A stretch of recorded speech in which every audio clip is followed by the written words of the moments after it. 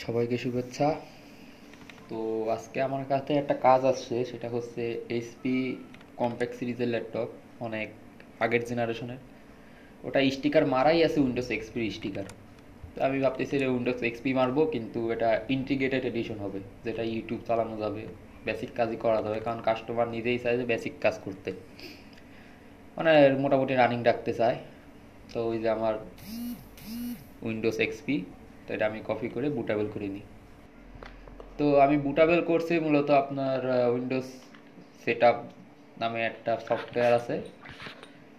Windows set ও version one point zero ওটার মাধ্যমে মূলত এই উইন্ডোজ এক্সপি উইন্ডোজ দুই হাজার দুই হাজার তিন, এই সিরিজেরগুলো বুট করতে সুবিধা। প্রথমে ভেন্টয় দিয়ে ট্রাই করছিলাম, মিথ্যে কথা বলব না, কিন্তু ভেন্টয় দিয়ে কাজ হয় নাই। না হওয়ার কারণ হয়েছে কারণ ওইটা সেট ফাইল ধরাই দিতে হয়। সেট আপ ডট ইএক্সিটাকে ধরাই দিতে হয়, নাহলে এটা হয় না। তো দেখা যাক।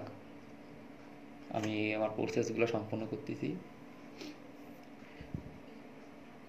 তা আমাদের সেট আপ স্টার্টিং প্রসেস শুরু হয়েছে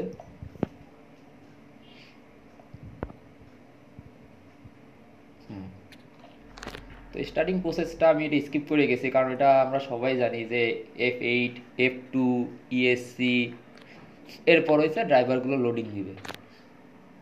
তাই ওইটা আমার কাছে, ওই ক্লিপটা আমার কাছে প্রয়োজনীয় মনে হয় নাই। তা আমি একটা কাজ করছি, সেটা হয়েছে কি, যেহেতু উইন্ডোজ সিস্টেমগুলো এনটিএফএস পার্টিশন সিস্টেমে হয়, তাই এনটিএফএস এ পার্টিশন সিস্টেমে যদি আমরা বুটেবল পেন্টঅ্যাপটা বানাই, তাহলে ওটা অনেক ফাস্ট কাজ করে। সেটা কিন্তু আপনার উইন্ডোজ সেট ডট ইএক্সি যেটা আছে ওটা দিয়েই করতে হয়। এছাড়া ওই অপশনটা থাকে না। রুফুস টুফুসে ইএক্স ইএক্স ফেড বা ফেড থার্টি টু এই ফর্মেটেই হয়। তো আর কথা বাড়াবো না, আমরা আগে পার্টিশনগুলো করে নিই। এটা হার্ড ডিস্ক মাত্র পঞ্চাশ জিবি খেয়াল করছেন কিনা জানি না, কিন্তু দুইটা পার্টিশন আছে। চব্বিশ বত্রিশ করে, কাছাকাছি পঞ্চাশ জিবি হয়। একটা পার্টিশন ফরম্যাট করে দিই যেটা ডিফল্ট ছিল ওটাই ফরম্যাট করে দিই। তো এখন এন্টার সাব দিলে ইনস্টলেশন শুরু হয়ে যাবে।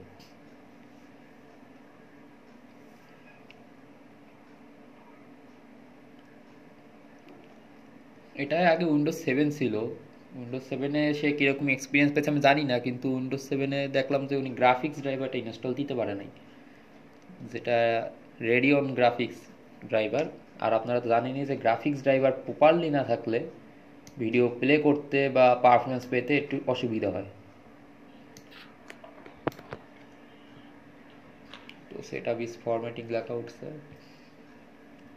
তো আপনারা যদি ভিডিও যদি চান যে কীভাবে উইন্ডোজ এক্সপির একটা বুটেবল পেন ড্রাইভ বানানো যায় বা Windows NT Windows ninety eight Windows ME তাইলে আমি তখন ওই সফটওয়্যার আর যে মেথড আমি তখন দেখাবো। এই কাজগুলো অনেক রেয়ার উইন্ডোজ এক্সপির কাজ অনেক এখন রেয়ার হয়ে গেছে।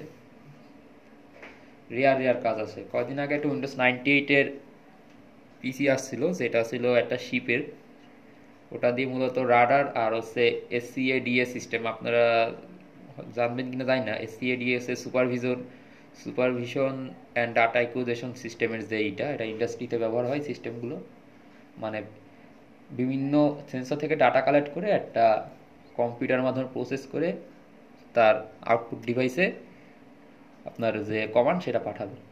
এটাও ফুল অটোমেটিক হয়, কম্পিউটার মাধ্যমে হয়। তা ওইটা ছিল উইন্ডোজ নাইনটি এইটের পিসি তা ওইটা সামহাও তখন ঠিক করতে পারি নাই, কারণ ওটা উনি কাস্টমার অনেক বিজি ছিল।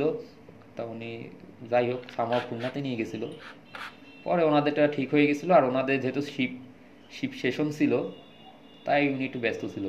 যাই হোক, ওগুলো বিষয় না। তাই এগুলো অনেক রেয়ার কাজ সেটা আসছিল দুই, তিন মাস আগে, আর এই আসলো ওই আজকে উইন্ডোজ এক্সপি কাজ তো আমাদের এটা দ্বিতীয় স্টেজ ওভার হয়ে গেছে। এখন আমরা তৃতীয় স্টেজে আসি। কিছু প্রি ইনস্টল সফটওয়্যার ইনস্টল হবে। এখানেও অনেক টাইম লেগে যায়, তিরিশ মিনিটের মতো। তাই আমি এটাও, আমি স্কিপ করে যাব। তো ফাইনালি এগুলো সব অটোমেটিক হয় যেহেতু। আমার কোনো কিছুতে ক্লিক করাও লাগে না। তাই আমি ওই ক্লিপ রাখারও আমি প্রয়োজন বোধ করিনি। এগুলো সব অটোমেটিকই অটোমেটিক অটোমেটিক নিয়ে দেবে দেখা যাক প্রপার বুট হয় কিনা।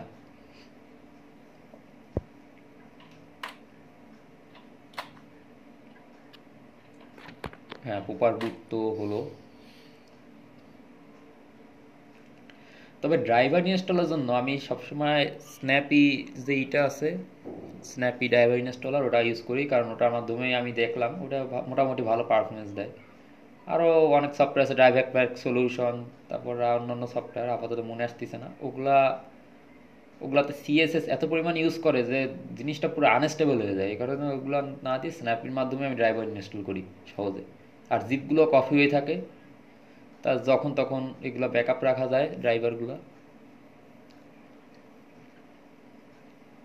এখন এটা ডিফল্ট রেজুলেশনে আছে উইদাউট গ্রাফিক্স তাই লেখাটা একটু বড় দেখাচ্ছে। দেখা যাক ওয়েলকাম স্ক্রিন কতক্ষণ থাকে। হ্যাঁ এখন আমরা তৃতীয় স্টেপে প্রায় শেষ পর্যায়ে।